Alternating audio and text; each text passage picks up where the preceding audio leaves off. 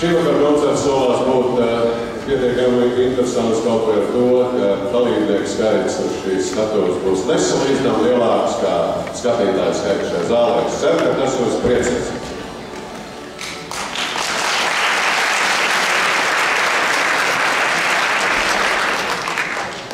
Un šodien dejotāji tik kuplā skaitā ir sapulsējušies, lai sadejotu rudens mazajā Eiropjādē, neskatoties uz to, kā ir ziema, lai nākošais dotos uz startautisko mākslas un kultūras festivālu Eiropjādi, kas notiks šogad Polijas pilsētā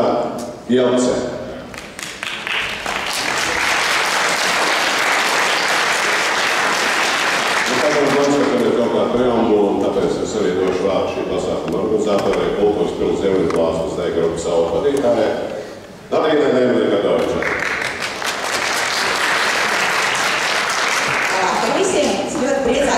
Šovakar šeit esam kuplā skaitā. Es ļoti priecājos arī par to, ka mums visiem, neskatoties to, ka šī rudens mazā aeroteātra, tomēr ir izdevies ieraudzīt šo skaisto ziemas brīnumu, kas ir ārā aiz loga. Gribētu novēlēt, lai šovakar jūs jauki pavadīt vakaru, un lai šajos Ziemassvētkos jums visiem izdodas atrast, sameklēt un piepildīt savu Ziemassvētku brīnumu. Lai jauks šis vakars!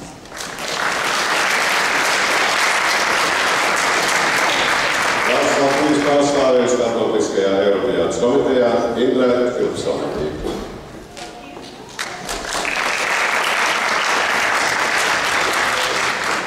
Labvakar skatītāji, labvakar dejotāji, labvakar vadītāji.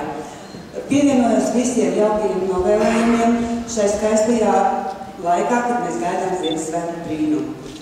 Arī mums šovakar šī mazā Eiropā ir tāds liels un skaists brīnums, jo jau 21. reizi Latvijas grupas dosies uz šo starptautisko festivālu. Un rudens mazā Eiropā ir sapulcēsies šeit, šogad mūsu skaistajā pilī, jau pēc tik daudz, daudz gadiem. 95. gadā mēs šeit bijām pēdējo reizi, kad mēs gatavojamies lielai Eiropjādei. Pārējā laikā mēs esam apbraukājuši visu Latviju un izmantojuši daudzu uh, kultūras vadītāju labvēlību. Parasti ir tā, ka uh, tad, kad beidzas koncerts, tad ir lieli aplausi un lieli paldies. Šogad mums ir ļoti, ļoti liels skaits, lielākais kolektīvu skaits, kāds ir bijis mūsu 21 gada Eiropēdas vēsturē.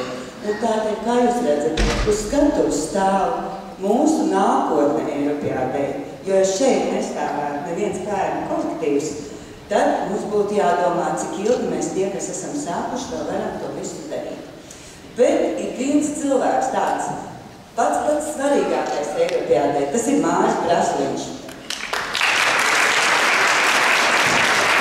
Ja šis vadītājs no priekuļiem nebūtu 1993. gadā ar savu grupu aizbraucis uz Eiropādu, kas notika Dānijā, Horsenā, tad mēs vai Latviju tikupā skaitā jau šogad varētu doties, gatavoties un doties nākošo gadu uz Eiropādu. 94. gadā, jūs zinat, mūsu finanšu krīzes nepārtraukti ir Latvijā, un 94. gadā Māris ar savu kolektīvu aizbraukt nevarēja finansiālā apstākļu dēļ.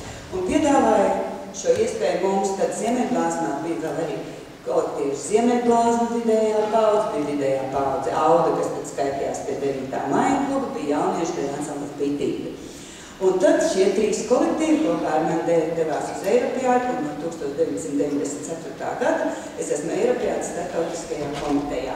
Un darbojamies ļoti dzīvīgi, nepārtraukti saņemam uzslavas par to, kā mēs varam tik jauki un tik skaisti vienmēr sagatavoties. Šodien mums ir dot šī iespēja parādīt, ko un kā mēs gribam rādīt arī Eiropijādē. Tad Mārim liels paldies, ka viņš mums šo ceļu pavēra. Paldies, Māri!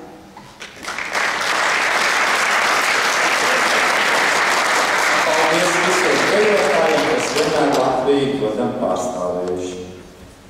Un, kā jau es teicu, paldies, uh, mēs teiksim gan koncerta sākumā, gan beigās, un vispirms paldies mūsu nākotnē, mūsu bērniem. Vēja zirdziņš, vadītāja Alks Krastīns, vislielāk iepazīšies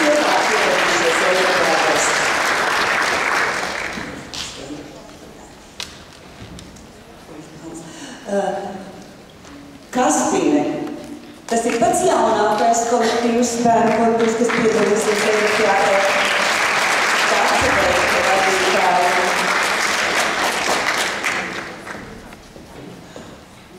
Un deju kolektīvi Annele un Garauši un viņa vadītāja Terēze, kuri jau vairāk kārt ir piedalījušies Eiropjādē, un Terēzē nav tikai bērnu kolektīvs, viņa vedīs arī pieaugšos uz Eiropjādu. Paldies Annelei un Garaušiem!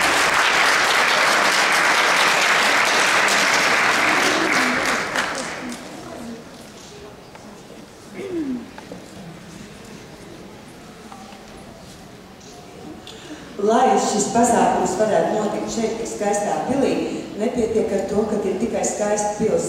Ir jābūt arī pilī atsaucīgiem cilvēkiem, kas palīdz pašdarbībai ienākušai.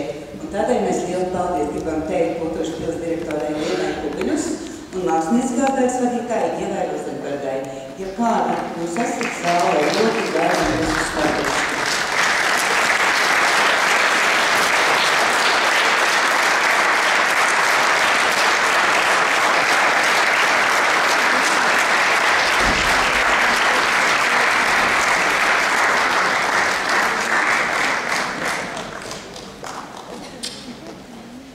Nu, un bez šaubām, uh, ja mēs tā nāktu pilnīgi no ielas, mēs noteikti šeit netiktu iekšā, tāpēc mums liels paldies ir jāsaka audas vadītāji, Nadīnai Neimane Gardovičai. Paldies!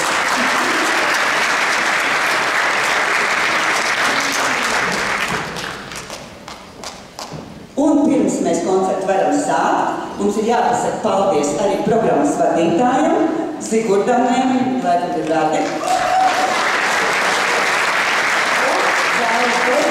Mums ir puisis, kas mums palīdzēs uh, likt mūsu mūzikas, lai mēs, jo dejot, kā jūs zināt, bez mūzikas nevar. Tātad paldies arī Jānim. Tagad, lai jums jauks šis vakars, jums būs daudz jāredz, daudz jāskatās, esiet lūdzu atsaucīgi, jo šie kolektīvi braukuši no visas Latvijas, lai šajās uh, pirms Ziemassvētku laikā parādītu, ko viņi var, un lai jums būtu labs prāts, un arī viņiem. Jauka jums vakar.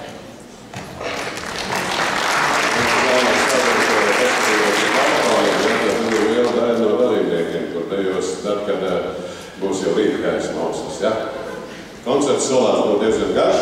Sāksim ar ģērbies saules sudrabotā. Dejos robežnieku, tik līdz maziem būs atbrīvojuši skatuvi. Mēs varam.